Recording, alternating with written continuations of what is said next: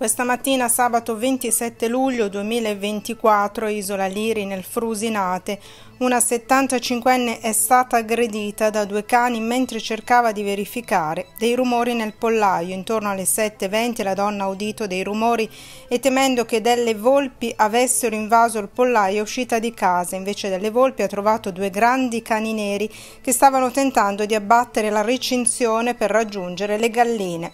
Quando i cani hanno notato la donna l'hanno attaccata. Lei ha cercato di scappare e rifugiarsi in casa ma i cani l'hanno seguita aggredita morsa al polpaccio e alla mano.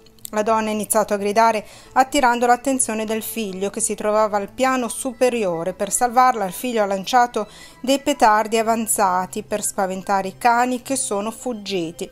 I soccorsi sono intervenuti prontamente trasportando la donna all'ospedale di Sora dove è stata operata per le ferite al polpaccio necessitando di numerosi punti di sutura. I carabinieri sono intervenuti e hanno avviato la ricerca dei cani responsabili dell'aggressione.